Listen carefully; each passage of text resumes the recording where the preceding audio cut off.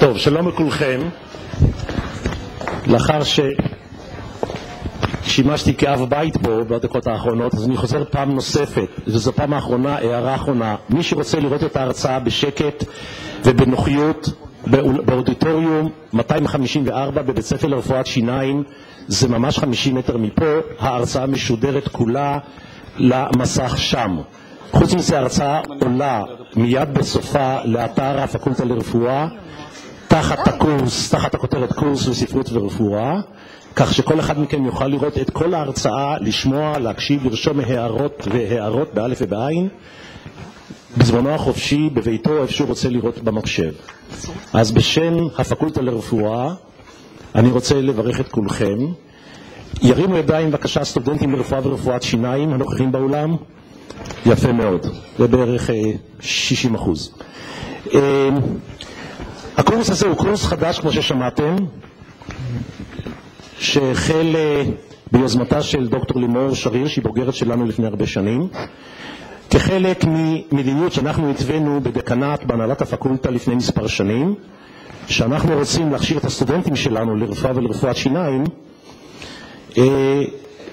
לא רק בזווית של ידע מקצועי מדעי מאוד רחב ומאוד מבוסס, אלא משום שאלה מקצועות טיפוליים שעוסקים בהגשת עזרה וטיפול ומזור לנזקקים, חייבים גם להבין דברים שעומדים לצידם של מדעי הבסיס.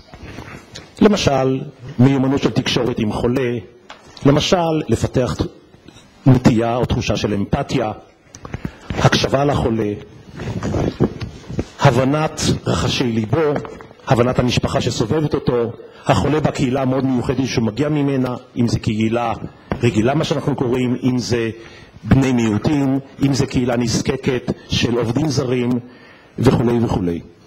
וחשבנו שקורסים מהסוג הזה הם קורסים שיכולים לתרום לקונספציה הזאת של הפקולטה, של בית הספר, ואנחנו באמת פיתחנו שורה של אמצעים לעשות את זאת. דרך אגב, האמצעי הראשון זה מבחני הכניסה לרפואה ורפואת שיניים, שהחלק האחרון שלהם, והמאוד קשה, עוסק בניסיון לבדוק את הנתונים האישיים ואישיותיים של המועמדים שמגיעים אלינו בסופו של עניין.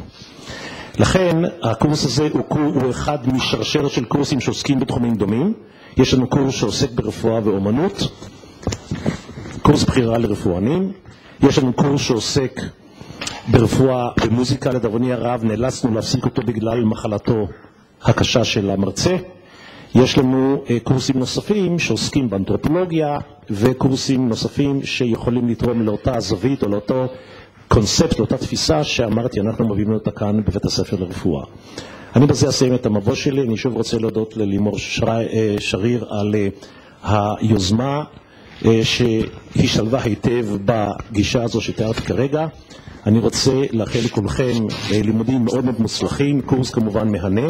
אני שוב רוצה לבוא ולומר, על מנת שההרצאות תהיינה על מי מנוחות, אני מציע שמי שלא יושב בניחותא ובנוח, לגשת לעולם השני ושם לשמוע את ההרצאה בשקט. אז שתהיה לכולנו שנה פוריה ומוצלחת. תודה.